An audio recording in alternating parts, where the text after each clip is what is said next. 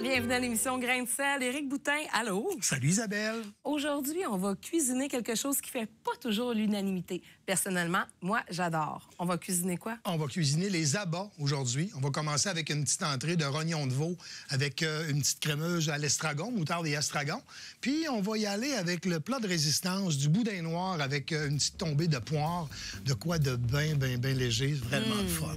Ah, j'ai déjà hâte parce que moi, personnellement, j'aime vraiment beaucoup les abats. On espère euh, vous apprendre à les aimer également. Bon, mais on va les mettre du cœur à l'ouvrage. Ah, je pense que oui.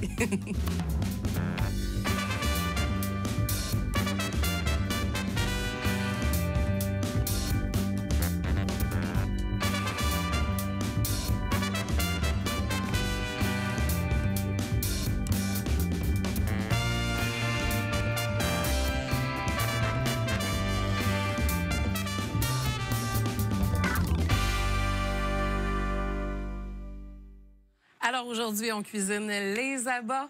C'est mal aimé des fois de la cuisine. Pourtant, il y a certaines personnes qui en raffolent. Et on débute avec une entrée de rognon, Eric. Oui, une entrée de rognon de veau. Euh, si tu veux, Isabelle, pour commencer, on va y aller avec des cubes de lardon, des cubes de, de, de, de porc, finalement, de, de bacon, voilà. Assez chunky. Assez chunky, assez euh, épais, des beaux gros morceaux. épaisse. On pourrait mettre du bacon aussi, bien entendu. Oui, oui, oui, exactement, oui. Alors, le rognon, voyez-vous, c'est à peu près de ça que ça a l'air, à la base même, lorsque vous l'achetez. Le but, c'est d'enlever la partie solide, solide à l'intérieur. Donc, il y a une couche de gras ici dans le milieu. Donc, on l'enlève comme ça, puis on va le défaire en petits, en appendices, en petits morceaux, en enlevant le blanc. Oui, parce que c'est ce qui sent quand même. C'est euh, un abat qui est quand même euh, qui sent fort quand on le nettoie. Mais pour de vrai, une fois cuit, c'est excellent. Ben, En tout cas, moi, j'aime bien. C'est pas tout le monde qui adore les abats. Moi, j'aime bien ça. Toi, les rognons? Je vais être franc avec toi, les rognons au moins. Le riz de veau, par contre, le riz, Riz de veau. veau, Euh, ah. le boudin, le boudin noir, c'est Ah, excellent aussi. Effectivement. la cervelle, euh, je suis pas tellement friand. Mais euh, c'est- que c'est des produits qu'on on n'apprête pas parce que c'est on dirait que c'est quasiment épeurant. Puis deuxièmement, euh, c'est des produits pourtant qui sont vrais, qui sont pas chers, ils sont abordables ces produits-là aussi. Tu sais, si on est, Est-ce capable que c'est justement parce que c'est pas très populaire? c'est parce que c'est moins populaire, effectivement. Puis, euh, puis les gens font, on n'a pas tendance à tester. Tu sais, on se dira pas, je vais acheter du rognon, là, puis, tu sais, on, on- c'est comme un peu des produits qui, c'est, c'est comme du canard. Certaines personnes, ils prendront pas le- le- la chance, vont dire, ben, je vais le gaspiller, ça marchera pas. Fait que, souvent, c'est ça qui va arriver. on, on se ramasse avec, euh, fait que ça, c'est parfait. Fait qu'on se ramasse avec un produit qui n'est pas tout à fait à notre goût. Fait que ce qu'on fait, là, c'est qu'on le dégraisse au complet, comme ça, ici. Donc, la partie dure, vous allez le sentir, là, c'est qu'il y a comme du gras à l'intérieur. puis C'est ce gras-là qu'on enlève. Il va toujours rester quand même... Une- là. Oui, complètement, complètement, pour en avoir là, le, le moins possible. Puis, comme je l'ai comme je, je l'avais déjà dit, lorsque euh, dans de la viande, comme dans des abats, euh, ce qui est mou devient dur et ce qui est dur devient mou. Fait que Oh. là, dans le cas présent, ce qui est en fait, c'est que ce qui est mou, ce sont les nerfs. Fait que généralement, les nerfs, avec un choc thermique comme un coup de chaleur au beurre ou à l'huile, ça va, se- ça va se durcir. Tandis que lorsque c'est lorsque c'est dur, c'est du gras. Fait que le gras, lui, il va fondre. Euh, dans le cas du euh, dans le cas du rognon, ben c'est le gras qui contient cette saveur-là, ce goût un peu plus corsé. C'est c'est ce gras-là qui l'a. Je vais monter ça ici. Moi, dans les abats, j'aime beaucoup aussi euh, les cœurs, les gésiers. Oui, le gésier, oui, c'est un bon oui, c'est très bon ça du délicieux. gésier. Euh, maintenant, dans certains, euh, certaines épiceries, ils vendent des abats, parfois congelés, parfois frais. C'est quand même pas toujours évident à trouver. Comme le rognon, faut, faut chercher un peu parfois. On trouvera pas nécessairement ça euh, chez l'épicier du coin. Mais euh, si vous aimez les abats et que vous avez envie d'apprendre à les aimer, c'est quand même un bel essai, je trouve. Oui. Puis Ouais. pour, si vous avez, euh, si vous n'êtes pas sûr là au niveau de, de- c'est comme là-bas, comme le foie, vous pouvez les laisser mariner dans du lait. Ouais. Euh, pendant un certain temps, là, j'ai vu jusqu'à jusqu'à presque une journée et demie, c'était peut-être un 10 heures de marine de, de, de, ils vont se dégorger puis ils vont être beaucoup moins forts au goût. On peut faire la même affaire avec du foie de Ils vont veau être plus aussi. aussi. Oui, ils vont être plus tendres effectivement. Euh, on va faire ça avec du foie de veau, on va faire ça avec je l'ai déjà fait avec du riz de veau aussi, mais ça j'ai pas trouvé que ça changeait vraiment quelque chose. Alors, quand les abats, quand le, le, le rognon va être prêt comme ça, ici, Donc, euh, bien paré, franchement. Là, Oui, bien paré. Bien nettoyé. Cette partie-là On ici, veut plus du tout, du tout de blanc. Non, on veut ben, plus blanc. On veut plus blanc. Euh, C'est quelque sûr qu'il va en avoir un utilise. peu à l'extérieur, mais à l'intérieur, mais c'est le gras, c'est la partie solide qu'on doit tasser dedans. Parce que c'est elle qui fait en sorte que ça va goûter un peu plus fort. Hmm. Alors, on rajoute nos champignons.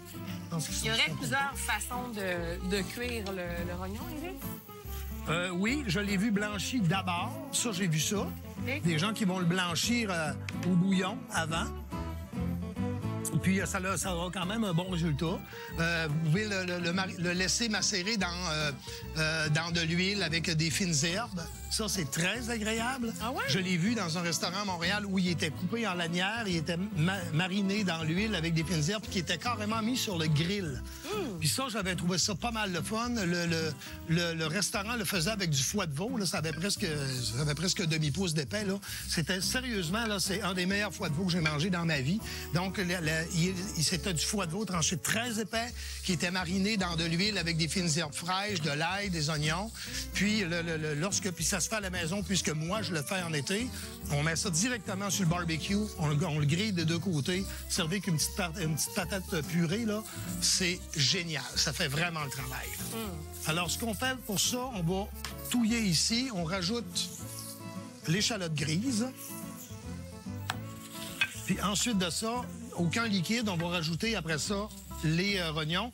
Dans le cas, si Quelle vous avez... de sauce déjà. Oui, là. oui, vraiment. Puis si jamais là, vous avez du, du- des lardons, là, notre lardon était relativement pas gras. Si vous avez des lardons, puis il y a une couche de gras qui flotte, vous l'enlevez. Vous le gardez pour faire autre chose, c'est-à-dire euh, des œufs le matin ou euh, des affaires comme ça. Donc, vous gardez votre gras pour ça. Puis après ça, ben, euh, c'est, vous continuez la cuisson. Dans le cas présent, là, chez, chez, J'ai enlevé une couche de gras quand même, parce que quand on parle euh, de tranches de lardon comme ça, il y a quand même euh, un contour de gras qu'on peut là, inciser là, pour en enlever, enlever le surplus. Là. Exactement. Fait que ce que je vais faire tout de suite, je vais rajouter mes morceaux de rognons dedans. Combien de temps ça cuit, le rognon? Pas long. je vous dirais, là, peut-être, là, euh, d'ici 4-5 minutes. Tu sais, c'est- à la maison, là, vous avez probablement des, des éléments chauffants un peu plus, euh, euh, qui, tu sais, qui ont plus de torque un peu, là. Mais généralement, là, on parle pas de longtemps. Tu sais, les rognons trop cuits, vous allez voir, ça, a- deux défauts. Un des premiers, c'est qu'un ro- un rognon qui est trop cuit, va verdir. Ah oui. Il va s'oxyder. Donc, vous pouvez, là, si on fait du. Donc, vous faites du foie de, du foie de veau, puis euh, votre visite est arrivée, puis vous jasez, puis là, maintenant, vous regardez, mon Dieu, mon foie de veau, il est rendu vert, ou c'est l'oxydation qui fait ça. C'est vraiment Donc, euh, euh, en théorie, si, si on mettait les- les- une terrine de gibier ou une terrine de foie quelconque, si on les met, si on, on ne mettait pas de sel nitrité à l'intérieur, il serait bleu-vert. Ah oui. Ça fait que ça serait bleu-vert. Ça, ça- c'est pour ça que euh, dans les- la plupart des terrines que vous avez achetées, c'est toujours rose, c'est toujours euh, une belle couleur attirante, Mhm. parce que c'est avec les, les agents de conservation qu'on va faire en sorte que ça a cette, ça a cette couleur-là. Tu parlais de la viande de bois. euh, Est-ce que tu as déjà cuisiné les abats, par exemple, de chevreuil ou d'orignal? Oui, du cœur d'orignal, du euh, cœur de chevreuil. Euh, vous avez le riz de veau, mais vous avez le riz d'agneau aussi. Ah oui? Oui, du riz d'agneau, j'en ai mangé relativement rare. Je vous avouer, j'en ai mangé une fois dans ma vie. C'est très, très bon. C'est très délicat. Surtout très délicat comme goût. Ceux qui trouvent que la- l'agneau, c'est un peu... euh, un peu violent, là. Euh, sérieusement, c'est très, très, très bon. C'est sweet, c'est vraiment le fun. Oui, oui, oui, oui. Après ça, bien évidemment, le foie, le foie d'ornial. Tu sais, je viens du lac Saint-Jean, fait que on a moins de poissons, mais on a beaucoup plus de d'ornial en masse. ouais. Donc, euh, l'ours aussi, l'ours aussi. Ouais. Mais euh, ça, ça, je, suis moins consommateur, je te dirais. Donc, ce que je vais faire, je porte à ébullition. Je vais rajouter mes autres ingrédients, c'est-à-dire l'ail, la moutarde à l'estragon. Moutarde à l'estragon, c'est très goûteux. Est-ce que tu l'as acheté déjà euh, mélangé comme oui, ça? on l'a- on l'achète déjà euh, mélangé. Puis moi, je vais vous avouer que je suis un très, très grand consommateur C'est très bon. de moutarde à l'estragon. C'est, ça, ça en est une obsession. Rien de moins. Je vous en parlerai à mon fils, vous allez voir. Un obsédé de la moutarde à l'estragon. Quand ça va commencer tranquillement à avoir une texture là, un petit peu plus funny, je vais mettre du vin blanc. Comme ça. Le vin blanc va aider à poursuivre Il va la, aller la cuisson du rognon oui, aussi? oui, parce qu'il va, il va comme, euh, c'est sûr et certain là que euh, on, travaille dans le, le- le- on travaille sur une plaque induction indépendante. Ouais. Donc c'est sûr que si on travaille à la maison, on a un four qui va être beaucoup plus fort, ça va être, ça va saisir beaucoup plus. Mhm. Donc il va avoir une coloration beaucoup plus. Tu sais, ça, ça va être beau, ça va croustiller autour. C'est quand même, c'est quand même beau, ça va être très bon. Mais c'est sûr et certain que l'important c'est de saisir à vif. Parce que pour éviter les, les, euh, les abats, souvent, on les saisit à vif pour éviter qu'ils que s'ils se durcissent ou encore, tu sais, en, saisissant le- le- l'abat, le jus, le sang va rester à l'intérieur. Il se videra pas, donc il va garder une texture, euh, une texture agréable. Est-ce que on- c'est une viande qui se mange euh, pas saignante, j'imagine, comme la plupart des abats? C'est rare que ça se mange C'est c'est saignant. rare que ça se mange saignant. J'ai vu beaucoup de gens, pour avoir été dans des restaurants où on travaillait beaucoup les abats, Ouais. j'ai vu énormément de gens manger leur foie de veau saignant. Ah oui? J'en ai vu énormément. Puis j'ai un, un client particulier que lui le mangeait pratiquement bleu. Ah oui? Oui, puis si euh, il était pas bleu, il me le retournait. Ah oui? Oh oui. Justement, euh, les abats sont une- un bon exemple parce qu'il y a des gens qui Bon raffolent exemple de des ça. abats et puis il y a des gens qui sont juste pas capables. Juste imaginer que tu manges du cœur, euh, des rognons, des riz de veau, peu importe. là. C'est difficile. Moi, c'est personnellement, la cervelle, on dirait que j'ai un petit blocage. Oui, moi aussi, c'est- je me sens mal. Là, je sais pas ce que j'ai. Moi, je vais te proposer mon petit grain de sel.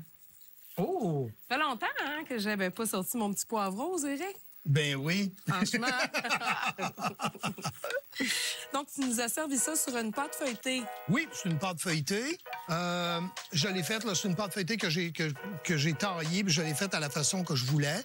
Ça pourrait être des vols au vent. Je sais que ça fait kitsch, mais ça pourrait être des vols au vent. pourrait. Euh, ça pourrait être euh, de la pâte philo. On pourrait le mettre en pâte Ouais. philo. Si on laisse refroidir, on pourrait faire des baluchons de pâte philo puis mettre ça là. Ah four, intéressant, oui. On pourrait aussi faire comme un, un spanakopita.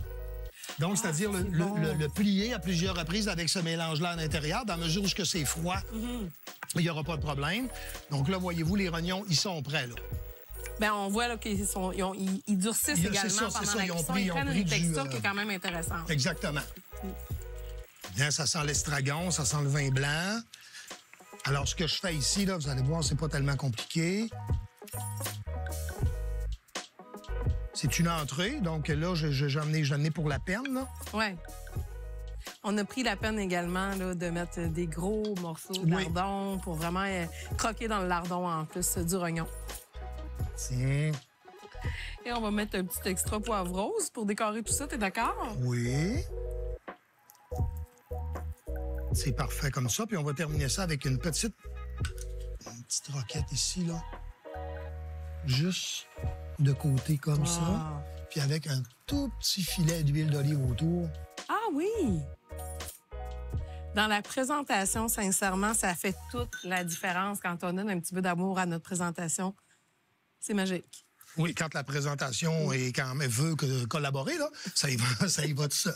Donc euh, voilà, c'est le plat de, de- de- de notre, de notre rognon de veau. Ça a l'air délicieux. Est-ce qu'on y goûte? bon? Oui, on va goûter à ça. Moi, je vais goûter un beau morceau de rognon accompagné d'un beau lardon. Bon, moi, je vais te Avec la regarder. sauce à euh, la moutarde. Là, Oui, a hein, ça sent très bon, ça sent l'estragon. Hmm.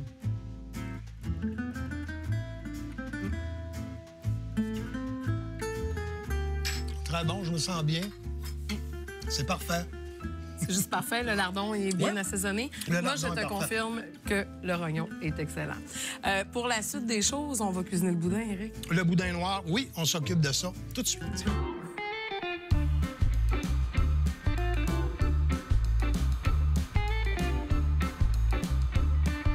L'heure du boudin, Eric. Oui, c'est l'heure de faire du boudin. Alors, euh, aujourd'hui, on a du boudin, euh, du boudin pur part. C'est ce qu'on appelle du boudin noir. Donc, c'est un boudin pur part. Vous avez aussi du boudin, euh, du boudin de lait qu'on voit dans les épiceries. Donc, ceux qu'on voit là sous forme de grosses pastilles, ben, c'est souvent du boudin de lait. Donc, on va, on, va mélanger le sang avec soit du lait, soit de la crème. Le boudin noir, lui, généralement, est fait avec 100 sang de porc. On va se trouver parfois des, du bacon. On va se trouver parfois euh, des oignons. On va se trouver parfois de l'ail.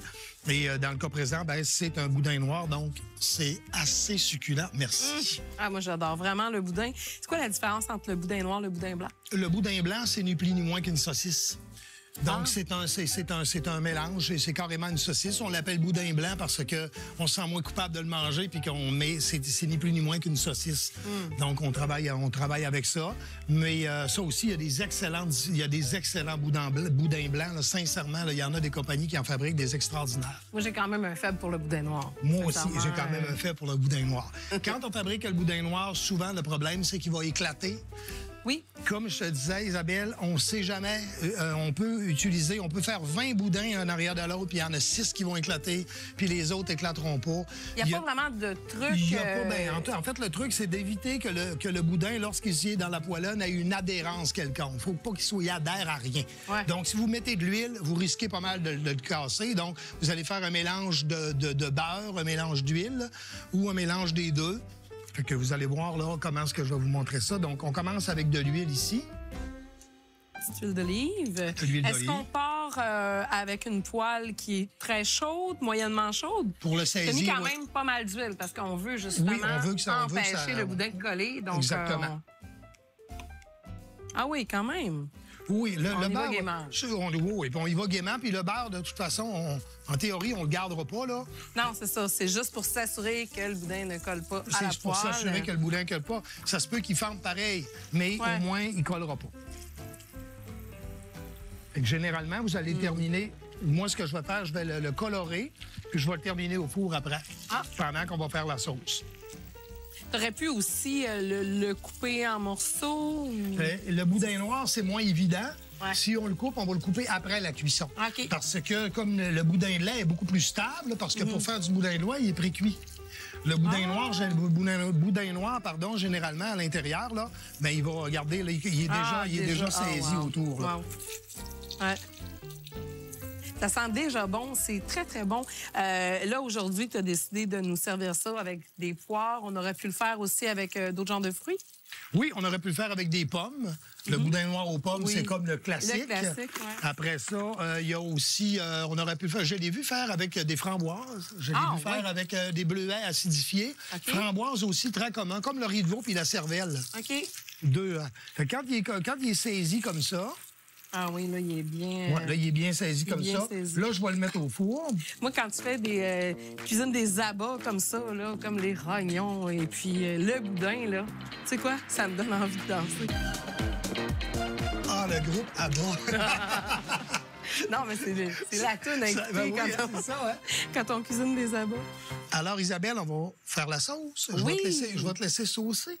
Avec plaisir, mon ami. Donc, Alors, oui, on va avec les toujours lardons, avec les lardons. Quand vous faites une sauce là, puis qui contient des lardons, commencez avec vos lardons. C'est la quantité de gras que le lardon va faire qui va faire en sorte que vous allez rajouter. C'est lui qui va vous donner là, qui va vous dire exactement qu'est-ce que vous faites. S'il y a trop de gras là-dedans, on va en enlever. S'il y en a juste assez, on va rajouter les autres ingrédients. On n'aura pas besoin de rajouter du gras.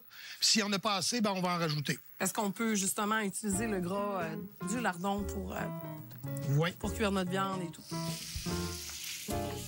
Donc, euh, le lardon, là, ça fait un petit peu d'huile. Est-ce que tu crois que c'est nécessaire qu'on enlève l'huile? Pas Non, vraiment. Pas vraiment, pas vraiment. Donc, prochain ingrédient, on met quoi? On va mettre les échalotes. Échalotes ou de, le- du, un petit oignon jaune, là, mais généralement, on y va pour l'échalote. parfait. Aussi. Est-ce qu'on met de l'ail? Oui, de l'ail, de l'ail. L'ail, c'est si bon. Hmm.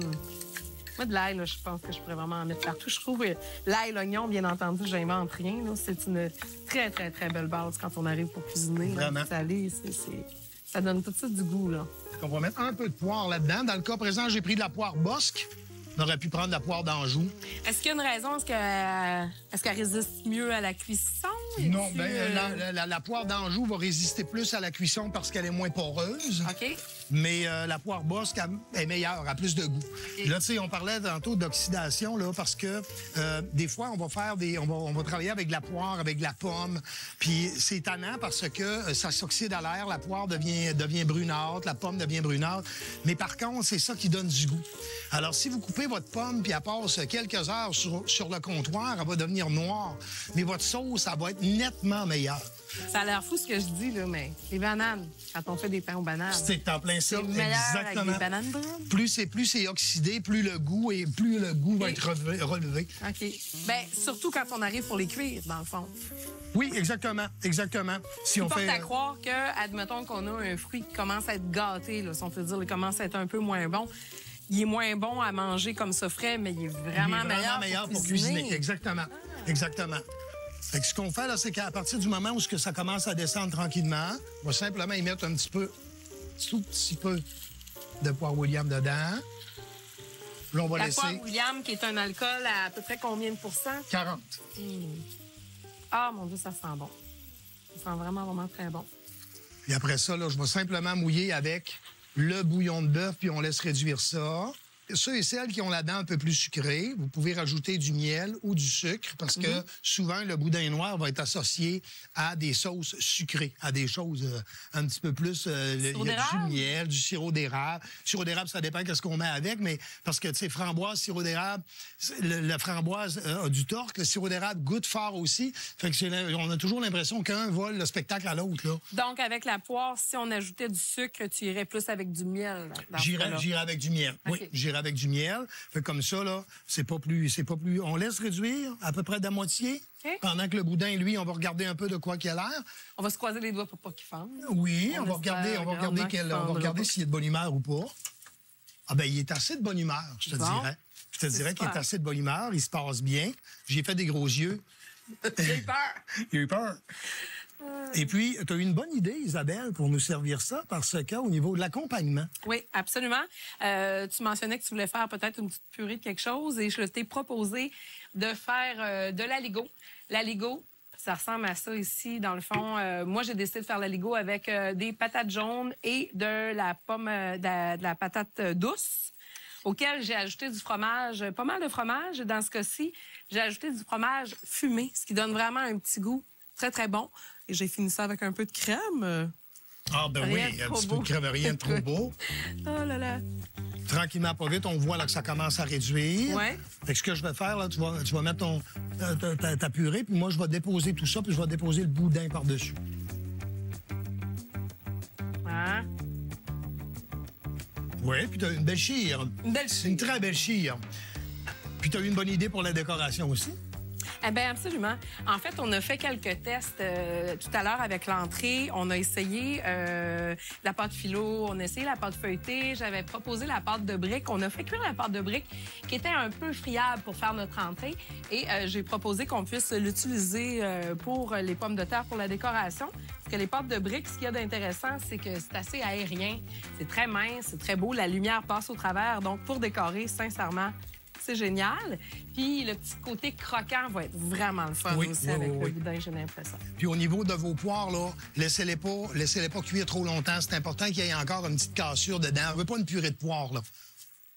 Pendant que tu sors euh, le boudin, je vais tranquillement vous présenter la bière de ce soir, euh, qui est la âme noire. C'est la bière de la microbrasserie euh, La Grange Pardue. C'est une dry stout légère à 3,5 seulement. Une bière qui est réconfortante, riche, avec une texture soyeuse qui va se marier à merveille avec les abats. Hey, ça sent bon. Oui, ça sent bon, ça sent le bonheur. Oui, absolument. Te aussi, ça, ça a l'air de goûter le bonheur. Une belle mousse à part de ça. Pendant que tu montes l'assiette, moi, je vais servir la bonne bière. Elle a une couleur, là, ma foi, assez noire. Oh!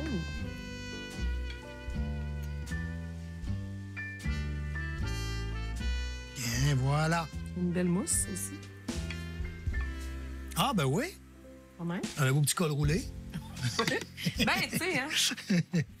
Dépendamment de la saison, c'est peut-être encore une bonne idée. Oui, oui. Alors, avec les poires, le lardon, là, on sent vraiment là, une odeur là, qui va se marier, je crois, à la perfection avec le boudin noir. Voilà. Le boudin noir qui n'a pas fendu. On avait bien peur, mais qui est resté intact Ouais, puis les deux. Est-ce que ça peut dépendre de la qualité du boudin? Il y a la qualité du boudin, oui. Il y a aussi, euh, pour avoir déjà fabriqué du boudin, là, euh, et ça peut, ça peut bien aller, mais ça peut vraiment pas bien aller quand Ouais, on le fabrique. Donc, ça arrive qu'effectivement, quand on remplit le boyau, là, euh, il y a des fois que c'est beaucoup moins agréable. Ah, ben oui! Un petit peu, je vais installer ça ici. Ah, que c'est beau, que ça sent bon, ça sent délicieux. Alors, santé. Santé, Isabelle.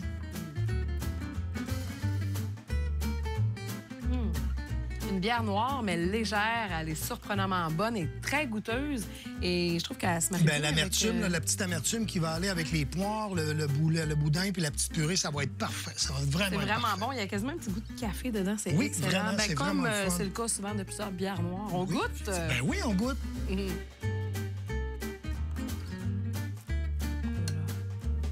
Tu sais que le boudin, moi, c'est vraiment un de mes, là. J'adore. Avec tout ça mélangé, là. Ah ouais. Tiens, Isabelle, je te laisse, je te laisse la priorité. J'arrive tout de suite. Là. Avec un petit morceau de poire. Je te laisserai pas tout seul là-dedans, ça, c'est sûr. C'est mieux pas. moi, je prendrais pas de chance si j'étais toi, quand même. si je veux qu'il m'en reste.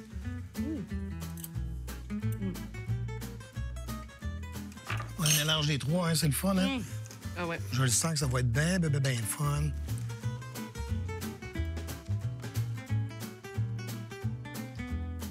Avec, avec le petit croustillant de la pâte en plus, c'est vraiment, vraiment très, très bon. C'est parfait comme ça. Rajoute un petit peu de croustillant dans ta bouche, là. Tu m'en donneras des nouvelles, là. C'est parfait.